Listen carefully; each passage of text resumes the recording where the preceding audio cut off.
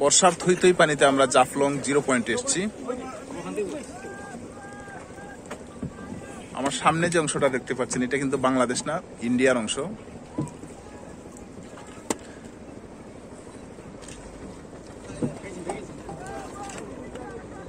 আমরা বাঙালি জনতা ইন্ডিয়ার সৌন্দর্য উপভোগ করার জন্য জাফলং সীমান্তে আসি।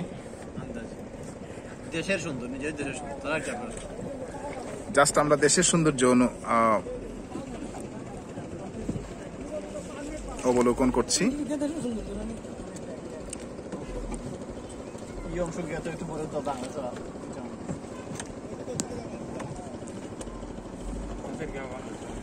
এবং